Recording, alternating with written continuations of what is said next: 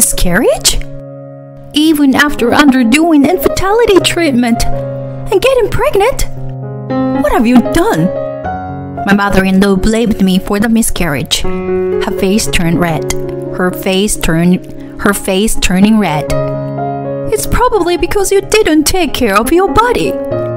As if not being able to have a child wasn't hard enough. Now this. You really are useless. No, that's not true. The doctor said it can happen with a certain probability. Shut up. If you, as my daughter in law, can't even bear a child, then get out of here. After all the torment I've endured, and just having suffered a miscarriage, to treat me like this, I can't take it anymore. As I started to shed tears and attempt to protest, my husband defended me with an angry expression. Mom, what are you saying? There is no need for her to leave. Fine then. We'll cut ties. I'll cut tie with the daughter in law, who can't even bear grandchildren. My mother in law shouted those words at me and gave me a final menacing glare. She left the room. After that, I had no contact with my mother in law for three years, and we didn't meet. However, she suddenly appeared before me in a wheelchair. I became in need of care after being involved in a traffic accident. That's why you should take care of me. I looked down at her and said, Huh, didn't we cut ties with each other? My name is Ivy, and I am 33 years old this year. Have been working as a caregiver even before getting married, and after marriage, I continued to work at the same workplace. I recently got certified as a care manager. So my main job is to come up with care plans for my patients. My husband Dylan is an office worker about the same age as me, and we met through a friend. Dylan graduated from a top university and works for a large corporation. At first, I thought there was a mismatch between him and me, as I only have a high school education. But Dylan continued to express his love for me. We had a good relationship, and after two years of dating, Dylan proposed to me. Ivy, please marry me. Let's become a family. Thank you, Dylan. I'm truly happy. I was at the height of my happiness at this time. I never imagined what would happen next. After accepting the proposal, we went to Dylan's parents' house to make a marriage introduction. Dylan's father passed away when he was in high school due to an illness. Since he is an only child, his mother lives alone in their family home.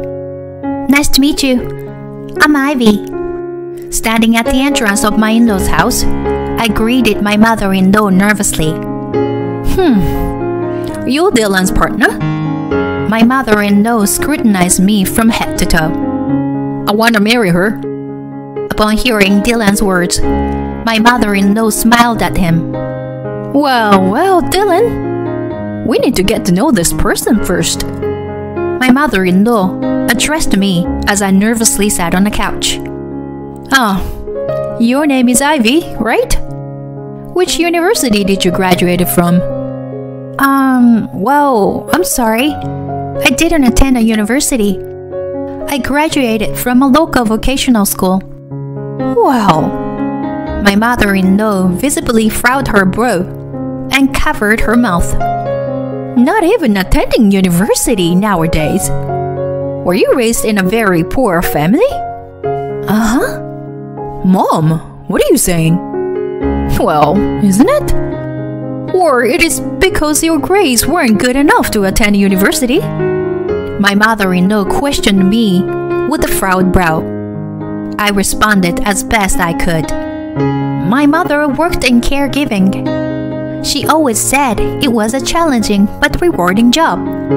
I grew up watching her in that role, so I wanted to walk the same path. Ivy works really hard at her job and has ambition. I think that's wonderful about her, too. As Dylan supported me, my mother in law's expression became even more unpleasant. Caregiving? Did you say you were currently working in caregiving? Does that involve changing old people's diapers? Yes. I assist patients with their daily lives. That's not some smelly, dirty, low level job. Huh? Even though caregiving is a job that anyone can do, it's not spoken of as something amazing. I could do nothing but be dumbfounded by my mother in law, who completely looked down on me. He continued to speak. Dylan said he's bringing his marriage partner. I thought it would be someone wonderful, but someone who couldn't even go to college, and someone who works in caregiving. It's disappointing. What are you saying, Mom? Well, isn't it, Dylan? Maybe you should reconsider now. Should I help you find someone wonderful? Enough already. Let's go, Ivy. Dylan slammed the table, stood up, and pulled my arm. But, but, Dylan! I was honestly flustered as well. But my mother in law seemed surprised by the fact that Dylan, who is usually calm, displayed his anger so openly. Dylan, what's wrong? Did something bother you? Mom, you're being extremely disrespectful to Ivy. No matter what anyone says, I'm gonna marry Ivy. Dylan! Dylan's clear declaration made me feel happy. Then, my mother in law let out a deep sigh. Fine. If Dylan insists on it, I'll approve of the marriage. Mom. But in return, Ivy, make sure you fulfill your duty as a wife. Have children quickly. Understood? yes. And so, Dylan and I were acknowledged by our respective parents and decided to register our marriage. We rented an apartment, considering the distance from our workplaces. But I was a little concerned about it, being close to my in law's house. I wanted to avoid getting involved with that mother in law as much as possible. It seemed like she didn't like me and anyway, she shouldn't be interfering. My hopes didn't last long, as my mother in law started visiting our home almost every day and began making snide remarks about various things. Ivy, there's dust accumulating on the curtain rail. Oh, I'm sorry. I have work on weekdays, so I was planning to do it on a weekend.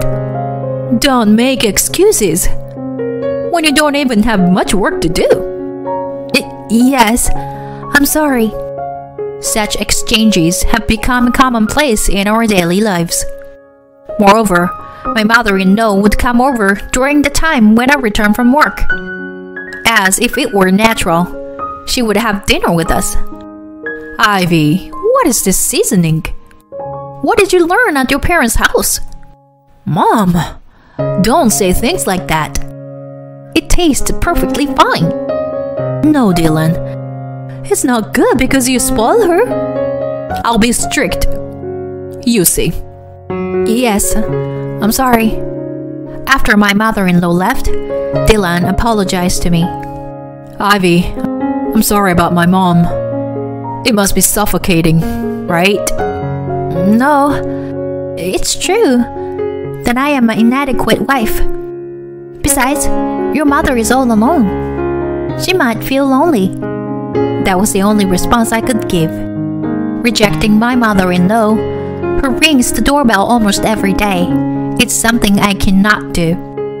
Furthermore, after a year of marriage, my mother in law started saying things like this My friend Mrs. Smith just became a grandmother the other day.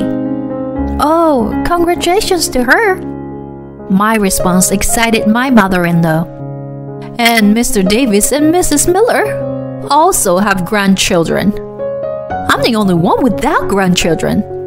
Well, you two are already in your 30s, right?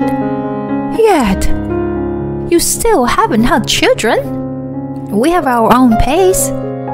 If you keep talking leisurely like that, you'll never have children. Hurry up and give birth to a child so that I can have a grandchild. Understood? It, yes. My mother in law started urging me to have a grandchild every time she saw my face. I felt the pressure myself as we were struggling to conceive. Dylan reassured me that there is no need to rush, but age is still a factor. We decided to visit an infertility clinic together. There, we were told that I have a difficult time getting pregnant. However, with diligent treatment, there is still a possibility of having a child. I was shocked by this result and ended up crying in front of Dylan. Dylan, I'm sorry. I'm just not in the right body for this. Well, what are you talking about, Ivy? I actually think it's perfectly fine for just the two of us to live together. No, I still want to have a baby with you, Dylan. I'll undergo fertility treatment. Uh, I see. I understand. But let's not push ourselves too hard. And so, our journey of fertility treatment began. I regularly visited the hospital, enduring painful tests and treatment. I took medication and received injections, but I wasn't getting pregnant. Even after two years of marriage, the situation remained unchanged, and I continued to be attacked by my mother in law. My stress gradually accumulated. We decided to move from conventional infertility treatments to advanced ones. Specifically, we decided to invest around $3,000 for IVF. It required not only a financial burden, but also a significant physical toll.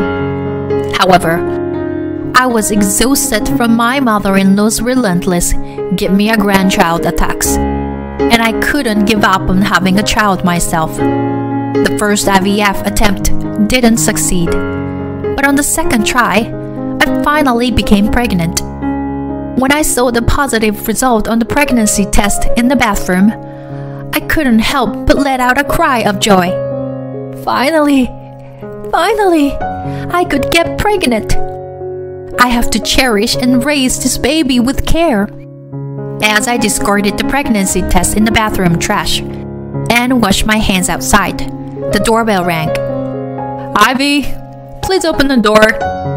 Once again, it's my mother in law. I reluctantly let her into the house as usual.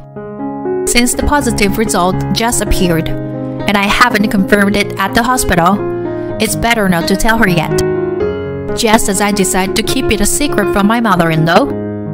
Ivy, are you pregnant? She asked me like that. Huh? But look, I found this in the bathroom. In her hand was the pregnancy test that I had just thrown away. Did she actually rampage through the toilet trash? To stoop that low? As I was in shock, my mother in law blurted out these words.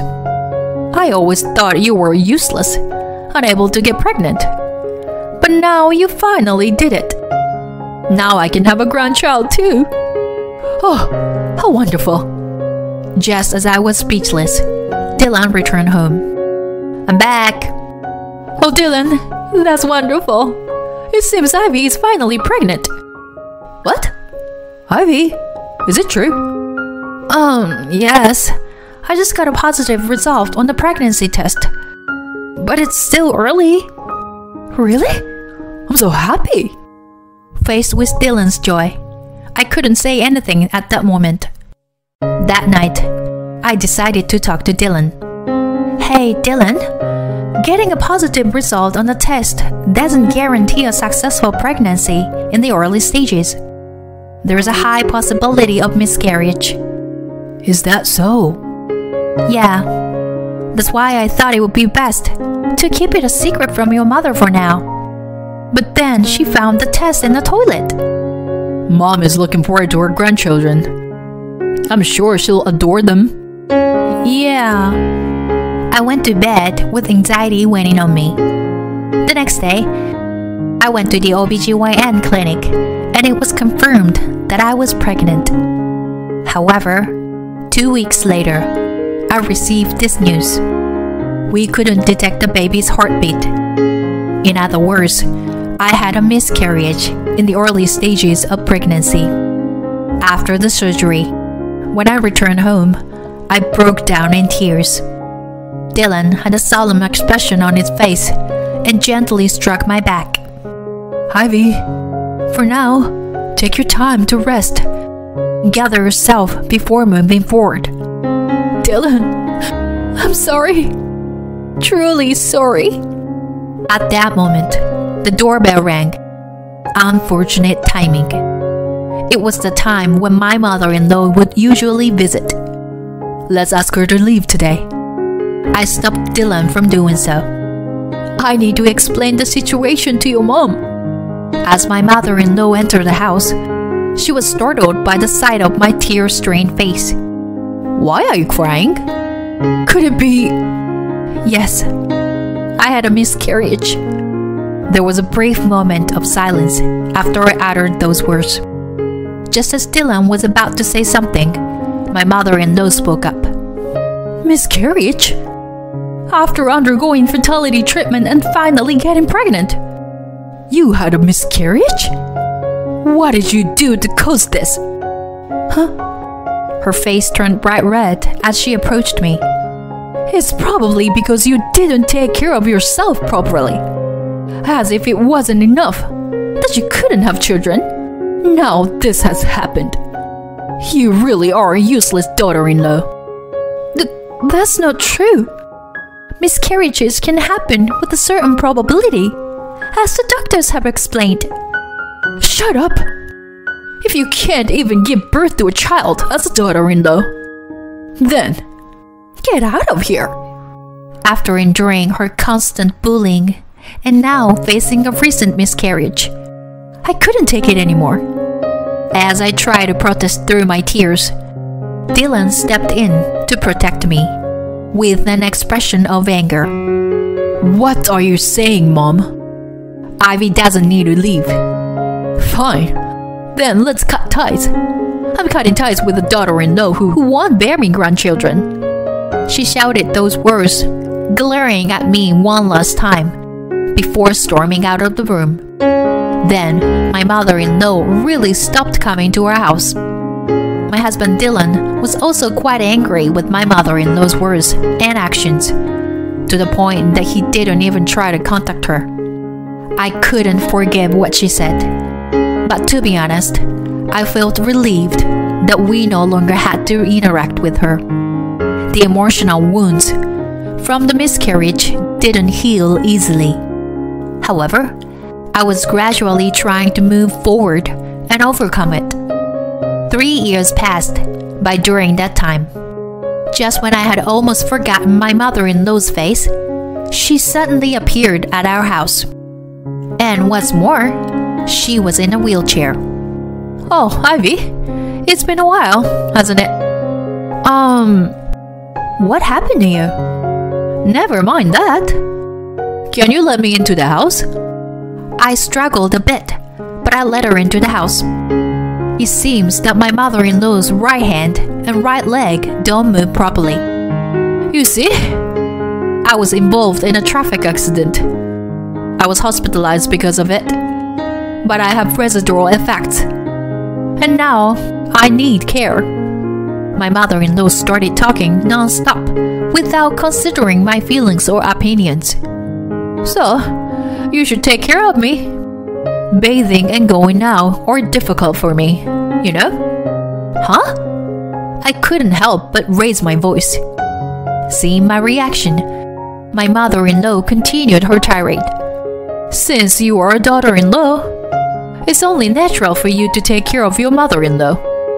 You're working in caregiving, aren't you? And yet, as a wife who can't even have children, I'm asking you to take on a role. Regarding that, we did cut ties, right? Yes, but I'm saying I'm willing to reconsider. It's fine. Please take your leave. What? What's that supposed to mean? Are you abandoning me? My mother in law seemed genuinely surprised, while I looked down at her with a cold stare. While I was being constantly bullied and hurt after experiencing a miscarriage, it was you who told me to get out. Useless. Right? Why should I be the one to take care of someone like you? Or Are you going to abandon your relatives who need nursing care? You are a devil's wife, aren't you? I'm fine with being the devil's wife. Please leave me alone. I pushed my mother in law's wheelchair towards the entrance and she started screaming. At that moment, the front door was open from the outside. Ivy, I'm home. Huh? Mom? Dylan? Huh? Who is that child? My mother in law froze as she saw Dylan holding the child in his arms. Who? This is our daughter, Emma. Dylan took her to the park. I held our daughter firmly in my arms as I received her from Dylan. What? A child? I didn't hear about this. Upon hearing that, my mother in law's eyes widened. Yes, after cutting ties with my mother in law, the stress seemed to disappear. Thanks to that, we quickly conceived a child. The child was born safely, and our daughter is already two years old. Well, I didn't say anything. I can't believe someone would utter such abusive words to Ivy. It's not what I would expect from a mother. D Dylan, you know how much I long to hold my grandchild, right? I'm aware of that, but even so, I can't let someone who hurts my wife off the hook. So, what do you need today? As Dylan casually said that, my mother in law's mouth was left agape. I explained the situation to my husband. Upon hearing this, Dylan furrowed his brow. There's no way I would let Ivy take care of you. Just go home already. W what are you saying? That's right. I'm going to live here together. I want to be with my grandchild too. Ivy can take care of me. It's as simple as that. I said we cut ties, didn't I? I'm sorry, but I can't live together. I won't provide any caregiving. My mother in law squeaks and grits her teeth and tries to grab me. Dylan stopped it. Got it. I'll find a facility for you. D Dylan? Just quietly enter the facility. That would be the best for you, right? Now, go home. Dylan took his mother, who was causing a commotion in her wheelchair, without any argument. Afterwards, his mother moved into a facility he had found. Initially, she contacted us repeatedly, asking to visit and see her grandchild. However, as we continue to ignore her, those requests gradually ceased. Neither Dylan nor I have visited her, and we have no intention of doing so in the future. She will spend her old age alone, with a disabled body, but I have no sympathy for her. However, I do not sympathize with her. With her personality, she will find a way to persist stubbornly anywhere she goes. She may not be liked by those around her, but on the other hand, our family of three enjoys a peaceful and happy life. Recently, I discovered that I am pregnant with our second child. It seems that this time it will be a boy. I intend to prioritize our family's happiness and cherish our lives moving forward.